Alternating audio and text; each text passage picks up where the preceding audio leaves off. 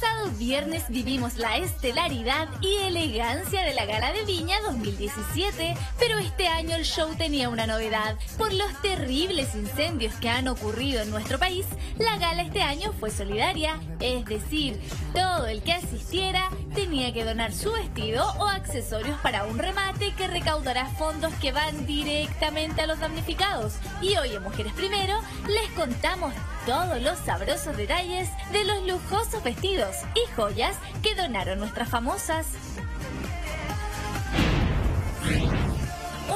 Mejores vestidas de la gala fue Tonka Tomisic. Apareció como siempre radiante en un vestido de Roberto Cavalli que incluso usó Bella Hadid en la gala de Cannes del año pasado. Para que se hagan una idea, un vestido de venta masiva de la temporada de Roberto Cavalli cuesta algo así como 5 millones de pesos. El de Tonka es de su colección de alta costura, lo trajo Sarika Rodrick y como infidencia es talla 42 y los zapatos de la misma marca son talla 39.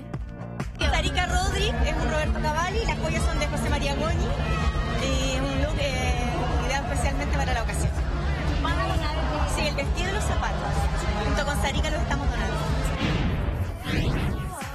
Soñemos un poquito, pues chiquillas.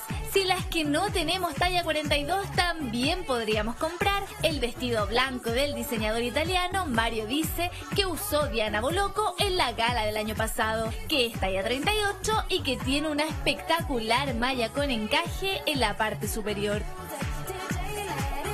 Pero si hay uno que sabe de lujos es Dimondo. Y el chileno radicado en Estados Unidos no escatimó en gastos a la hora de donar. Y ya anunció que la máscara rosada con 9000 cristales Swarovski que usó en la gala del año pasado también va al remate. Y para que se hagan una idea nomás, el valor de la máscara que se demoraron más de 200 horas en fabricar fue de más de 30 millones de pesos chilenos. Y según los expertos, el plus de las prendas usadas por famosos es que pueden duplicar su valor comercial en un remate.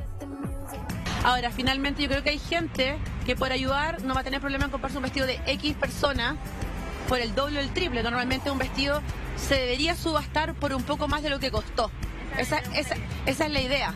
Como que en el fondo si algo costó 100 mil, por poner un precio súper básico y base, debería rematarse si una X persona que es atractiva hacia la gente sobre 300, 400 para poder realmente que sea una subasta. Finalmente, las subastas y los remates eh, son para duplicar y triplicar el valor real y darle un valor mucho más eh, metafórico, simbólico de la persona que lo usó y para qué va.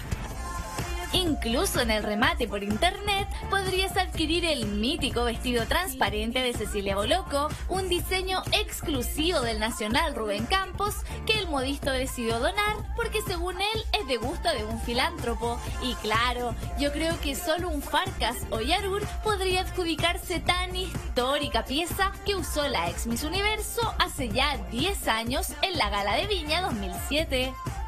Pero no es la única transparencia que veremos en el remate. Miren que Ivette Vergara sorprendió con este vestido que, además de donar, junto con su marido hicieron un compromiso. El vestido es de Iván Pigman, es una tela que trajimos de afuera, eh, de la colección de Armani, y está todo trabajado al cuerpo y todo hecho a mano. Cada cosa que tú ves está eh, diseñada, cosida, pegada, toda, a mano. Oye, ¿y, ¿y el valor solidario de la gala? ¿Tu vestido va o no va? Mi vestido va a la gala, o sea, va al remate, va a la donación, mi vestido y el traje de Fernando, pero además nosotros nos comprometimos a que el, valor que se remate en nuestras prendas, nosotros vamos a igualar ese valor como donación extra.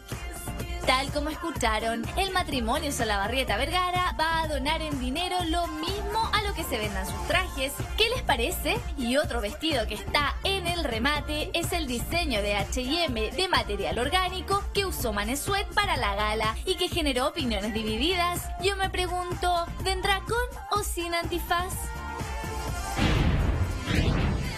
Marcela Bacareza ya anunció que su vestido amarillo de Casa Dior que usó en la última gala también va al remate, pero además de eso, donará el sensual vestido negro unido por tachas de la gala 2015 de la clásica marca italiana Pucci y el diseño verde de Stella McCartney de la gala 2014 con el que deslumbró. Y para que se hagan una idea, en promedio cada vestido debe tener un valor desde 2 millones de pesos chilenos. Además, la esposa del animador del festival confirmó que dará las joyas Swarovski que la acompañaron la noche del pasado viernes. Mi look es un vestido de la Casa Dior, eh, las joyas son Swarovski, al igual que el clutch, eh, maquillada por Terira Razabal. Son algunos detalles de las lujosas donaciones de nuestras famosas para Desafío Levantemos Chile. Pero como bonus track, les contamos que el guapísimo Maluma, además de Mino, es buenito. El chiquillo anunció que todo lo que gane como jurado y show en el festival será donado directamente a los damnificados de Santa Olga. Pero cuéntenme ustedes, si pudieran, ¿qué vestido de estas famosas se comprarían?